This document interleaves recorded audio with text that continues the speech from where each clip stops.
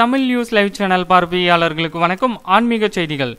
திருமலை அன்னமைய பவனில் நேற்றைய தினம் காலை அறங்காவலர் குழு கூட்டம் நடைபெற்றது. தலைவர் சுப்பா ரெட்டி தலைமையில் நடந்த இந்த கூட்டத்தில் அதன் உறுப்பினர்கள் தேவஸ்தான அதிகாரிகள் உள்ளிட்ட பலரும் கலந்து கொண்டனர். இந்த கூட்டத்தில் சில முக்கிய முடிவுகள் எடுக்கப்பட்டது. இந்த கூட்ட நிறைவுக்கு பிறகு தேவஸ்தான அதிகாரிகள் தெரிவித்துள்ள முக்கிய தகவல்கள் திருமலையில் கடந்த ஓராண்டு காலமாக நிறுத்தி வைக்கப்பட்டிருந்த ஆர்ஜித சேவைகளை தேவஸ்தானம் வரும் ஏப்ரல் பதினான்காம் தேதி முதல் துவங்க முடிவு செய்துள்ளது. ஆர்ஜித சேவைகளுக்கு முன்பதிவு செய்யும் பக்த கோடிகள் கண்டிப்பாக மூன்று தினங்களுக்கு முன்னர் கோவிட் சோதனை செய்த சான்றிதழை சமர்ப்பிப்பது அவசியம். திருமலை ஏழுமலையான் கோவிலில் செயல்படுத்தி வருவது போல திருச்சானூர் பத்மாவதி தாயார் கோவிலிலும் துலாபாரம் செயல்படுத்த முடிவு எடுக்கப்பட்டுள்ளது. பல கோவில்களின் நிர்வாக பொறுப்பை திருப்பதி தேவஸ்தானத்தின் கீழ் கொண்டு வர தேவஸ்தானம் முடிவு எடுத்துள்ளது.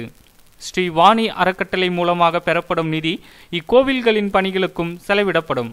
திருமலையில் பிரசாதங்கள் தயாரிக்கவும் அன்னதானத்திற்காகவும் பயன்படுத்தப்படும் நெய்யை பத்திரப்படுத்தி வைக்கும் எண்பத்தி இரண்டு புள்ளி நான்கு மெட்ரிக் டன் கொள்ளளவு கொண்ட கலன்களை நூற்றி எண்பது புள்ளி நான்கு மெட்ரிக் டன்னாக மாற்றப்பட உள்ளது. இதன் மூலமாக நெய்யின் தரம் ஆறு தினங்கள் முதல் பதினான்கு நாட்கள் வரை கெடாமல் பத்திரமாக வைக்கப்படும்.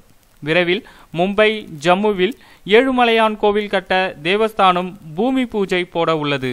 ஸ்ரீவாரி மொட்டு நடைபாதை மார்க்கத்தில் நடந்து வரும் பக்தர்களுக்கு அன்னதானம் வழங்கவும் கோவில் நிர்வாகம் முடிவு செய்துள்ளது.